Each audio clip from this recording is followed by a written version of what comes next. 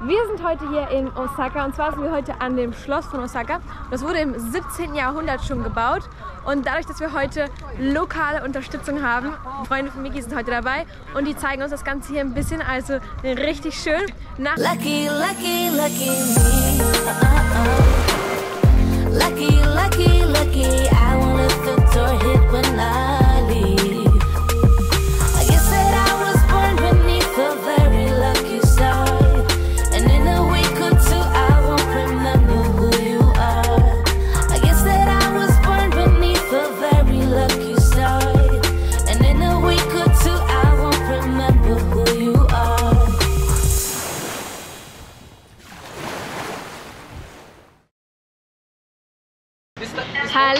willkommen zu einem neuen Vlog von mir von Flying Anker. Wir sind gerade in Japan und machen hier Urlaub. Heute ist Tag 3. Heute sind wir in Osaka und Kyoto und nehmen euch mit. Wenn ihr nichts mehr verpassen wollt, jetzt auf jeden Fall abonnieren, nicht vergessen. Miki hat hier zwei Freunde in Japan und heute treffen wir uns mit denen und die zeigen uns jetzt erstmal das Schloss von Osaka. Damit starten wir heute.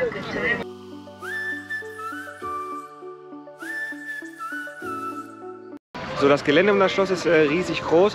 Es ist ein großer Park und äh, wenn man möchte, kann man auch mit so einer Bimmelbahn da hinten fahren. Die muss man mal da mit viel Zeit reservieren. Wir haben es gerade versucht, aber die war schon komplett ausgebucht. Deswegen gehen wir jetzt zu Fuß zum Schloss. Es sind ungefähr von dem Ticketbüro bis zum Schloss 15 Minuten zu Fuß. Die Sonne scheint, das Wetter ist perfekt.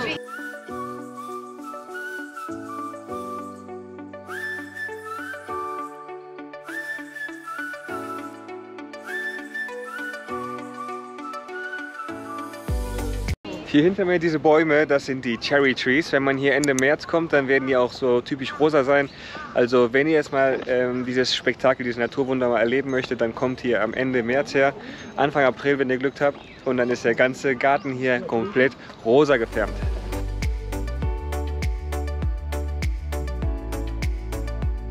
Wir sind heute hier in Osaka und zwar sind wir heute an dem Schloss von Osaka. Das wurde im 17. Jahrhundert schon gebaut und dadurch, dass wir heute lokale Unterstützung haben, Freunde von Miki sind heute dabei und die zeigen uns das Ganze hier ein bisschen, also richtig schön. Nachher geht es noch für uns nach Kyoto rüber und äh, wir zeigen euch jetzt mal das Schloss. Das Schloss hier in Osaka ist eines der größten von ganz Japan. Da gehen wir jetzt mal hoch. Der Eintritt kostet 1200 Yen. Man kann äh, Bargeld und mit Karte bezahlen. So, im Osaka Schloss könnt ihr bis zur fünften Etage mit dem Fahrstuhl hochfahren und von hier geht es noch drei Stockwerke zu Fuß nach oben. Und hier gibt es auch ein bisschen Geschichte über die japanische Geschichte, kann man hier etwas lernen über die Samurais und so. Also es ist echt spannend, hier mal reinzukommen.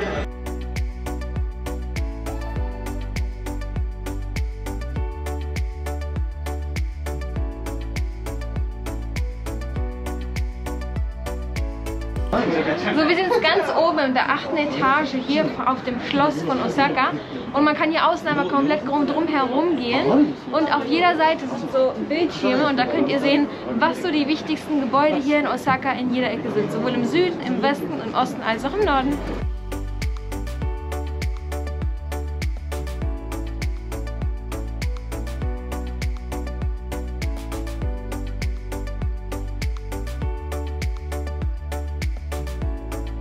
Wir sind jetzt vom Schloss runtergekommen und hier ist so ein Park und es ist zwar noch nicht die Kirschblüte, aber die Pflaumenblüte, die ist jetzt schon. Schaut euch mal an, wie schön das Ganze aussieht. Ihr könnt hier sowohl rosane als auch weiße Blüten sehen, weil es verschiedene Pflaumenarten hier sind.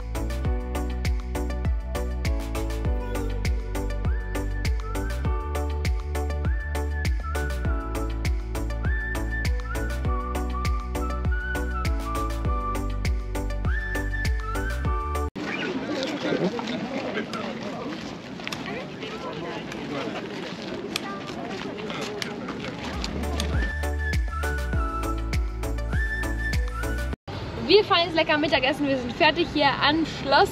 War noch gerade schön uns die Pflaumenbäumchen angucken. Jetzt geht es weiter lecker Mittagessen, wie immer lokales Essen. Wir sind jetzt hier in einem Suburb Area. Äh, mein Freund Nori, der bringt uns jetzt zu einem typisch japanischen Restaurant, das er gut kennt. Also sind wir ein bisschen aus der Touristenzone raus und äh, mal gucken, ob das Ganze gut aussieht und auch gut schmeckt. Wir nehmen, die wir nehmen auf jeden Fall die Kamera mit und zeigen es euch. Das wird auf jeden Fall wie immer sehr interessant.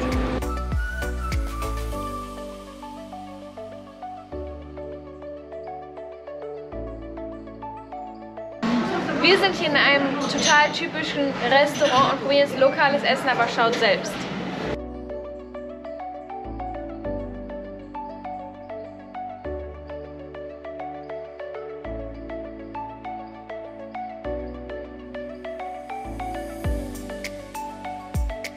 So, wir sind jetzt wieder draußen. Wir haben jetzt gerade schön gegessen.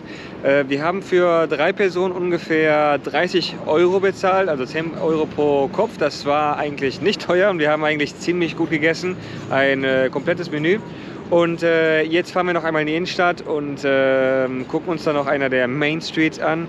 Und danach geht es auch für uns weiter nach Kyoto. Also bis jetzt äh, sind wir ziemlich positiv überrascht von Osaka. Es ist eine riesengroße Metropole. Einige Ecken erinnern mich sogar ein bisschen an äh, New York, weil man wirklich sehr viele Hochhäuser sieht, auch extrem moderne Hoch, äh, Hochhäuser. Aber es ist alles neuer, wenn man es ein bisschen vergleicht. Es ist sehr sauber hier, die Leute sind sehr höflich. Ähm, nachts kann man hier sehr viel machen, weil wenn man ähm, dieser Main Street ist, wird- ist einfach viel los. Man hat viele Lichter, kunterbunte Lichter, viele Restaurants mit ähm, viel Advertisement, also mit, vieler, mit viel Werbung.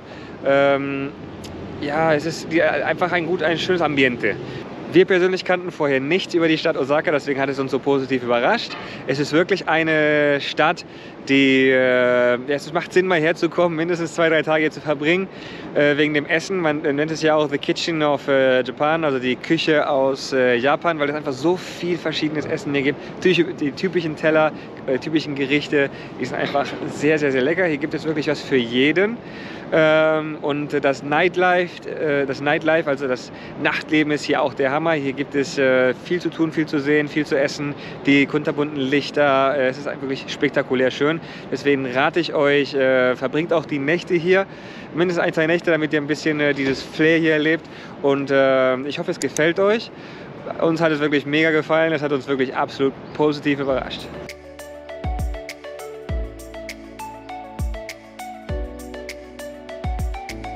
Wir sind jetzt in Shinsekai, in dem Viertel hier von Osaka. Und das Ganze wurde nachgebaut und die haben sich im Norden von Osaka an Paris orientiert und im Süden von Osaka, hier vom Shinsekai-Viertel, von New York und Coney Island. Geplant war es, dass es ein futuristischer Ort sein sollte.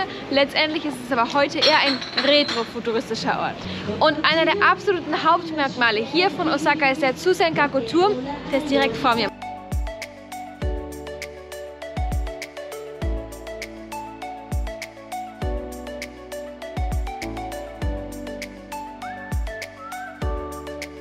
Also das hier ist ein richtig touristischer Ort. Wenn man das mit dem Rest der Stadt vergleicht, ist äh, die Stadt Osaka sehr modern, äh, wie ich das vorher schon gesagt habe. Und hier ist es alles ein bisschen mehr Old Town, aber es ist schon witzig hier zu sein, weil hier alles voller Geschäfte ist und äh, alles voller witzigen Figuren und natürlich auch alles voller Leute und Touristen, so wie wir.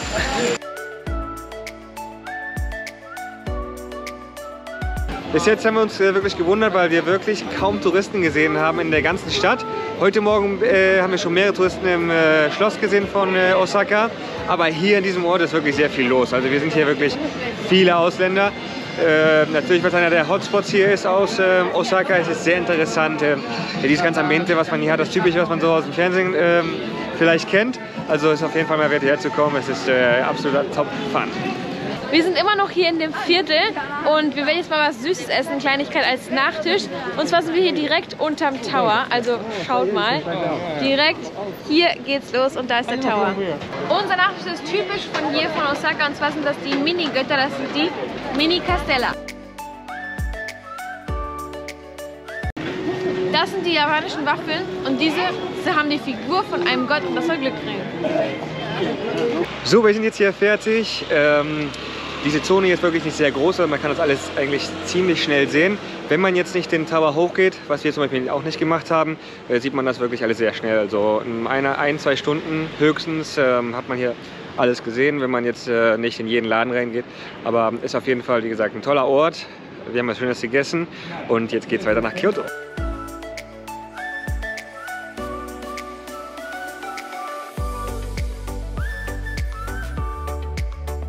Das ist einer der Vorteile, wenn man einen privaten Fahrer hat oder einen, einen Freund. Äh, Wir fahren jetzt sogar auf einer typischen japanischen Autobahn mitten durch die Stadt und es ist schon äh, ziemlich interessant zu sehen.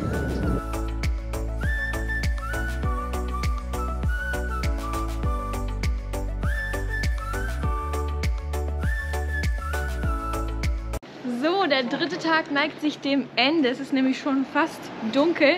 Und wir drehen jetzt noch eine kleine Runde hier in Kyoto. Wir wollen uns einmal das Geisha-Viertel abends angucken und einmal auf den Markt. Aber dazu gleich mehr. Wir sind hier an der Shiyodori, einer der Hauptstraßen hier in Kyoto. Drehen hier gerade eine Runde und wir befinden uns gerade im Geisha-Viertel. Vielleicht sehen wir ja noch eine jetzt im Laufe der Tage. Und wenn man hier immer weiter geradeaus geht, kommt man am Fluss entlang. Man ist hier auf einer der Haupteinkaufsstraßen mit vielen Restaurants auf beiden Seiten. Und gleich enden wir auch am Nishiki-Markt. Wir sind immer noch auf der Shiyodori-Straße. Wenn man den Fluss überquert, ist man hier quasi im Einkaufsviertel. Rechts und links hat man überall viele Shops, Bars, Restaurants. Also quasi ist oben so das traditionelle Viertel, das Geisha-Viertel. Wenn man einmal über den Fluss rüber geht, über die Brücke, ist man sofort, boom, in der mega Stadt, Downtown, rechts und links große Läden, Geschäfte. Und ähm, ja, hier kann man ein bisschen shoppen.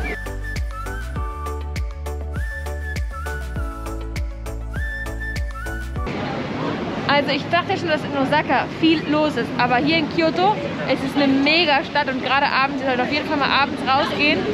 Abends werden die Leute wach und die Stadt ist voll.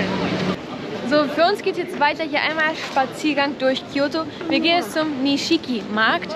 Der ist immer geradeaus weiter, ist eine Fußgängerzone hier und da führen wir euch jetzt hin.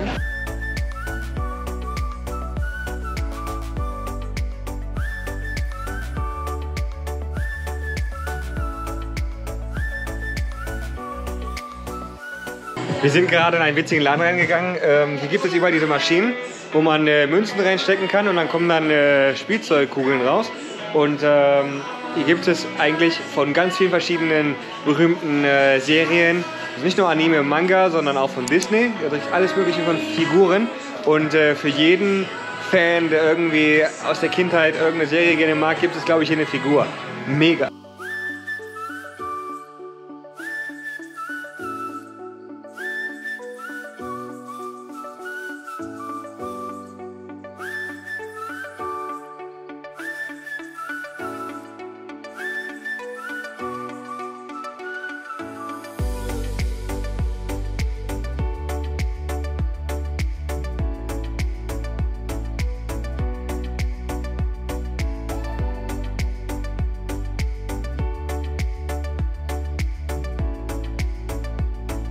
Ist schon ein bisschen spät geworden. Wir sind auch in ein paar Shops gegangen. Das heißt, den Markt werden wir im Laufe der nächsten Tage sehen. Aber jetzt gehen wir erstmal typisch japanisches Essen und heute gibt es Ramen. Hier gibt es in Japan so Maschinen in Restaurants. Da kann man sich das Essen auswählen. Das zeigen wir euch mal.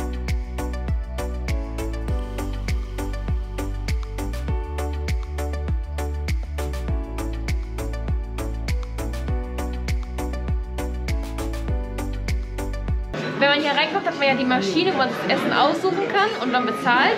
Und dann kommt man hier rein und bekommt diese Order Sheets, das sind so Papiere und da steht dann drauf, ob man das gerne scharf haben möchte oder nicht, was man dabei haben möchte, mit Zwiebeln, ohne, mit Knoblauch, das kann man hier dann alles auswählen.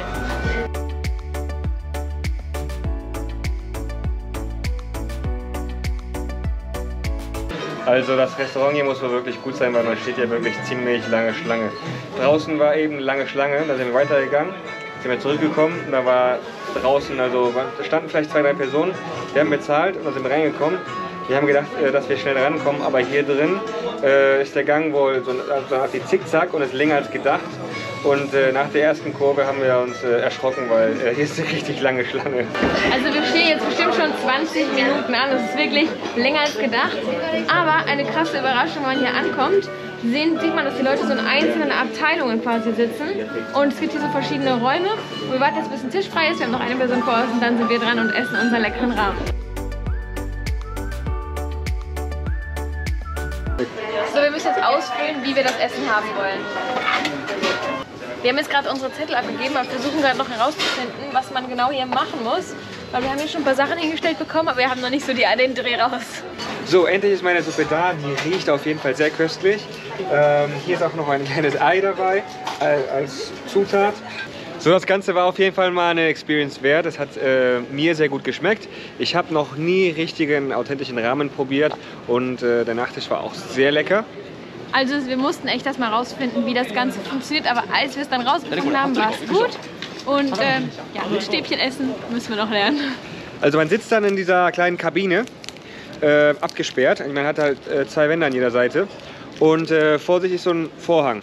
Und wenn der Kellner kommt, macht, geht, geht dieser Vorhang hoch und sagen dann irgendwas auf Japanisch. Man, man versteht kein Wort.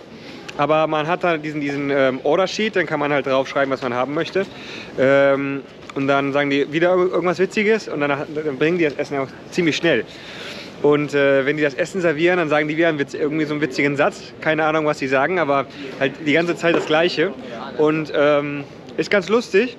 Aber es gibt halt Momente, da ist es irgendwie so, so eine Art wie protokollisiert, sehr japanisch. Und man hat keine Ahnung, was man, machen, was man machen muss. Das ist ziemlich witzig. Wir saßen da zum, also echt zwei, dreimal und wussten jetzt gar nicht, was jetzt los ist und was wir da machen oder sagen sollten. Und ähm, ja, auf jeden Fall eine mega Experience, weil das ganz anders ist als ein normales Restaurant, was man so kennt. Ähm, ich würde äh, ich würd euch empfehlen, mal sowas zu probieren, so ein richtiges Ramen-Restaurant, äh, weil es gibt ja nur Ramen, okay, mit äh, verschiedenen Geschmäckern und so, Zutaten, aber es ist halt Ramen und ähm, ja, es war super lecker und es hat Spaß gemacht. So, für uns geht jetzt zurück Richtung Hotel, den Abend ausklingen lassen und morgen geht es weiter mit uns bei Tageslicht Theodor.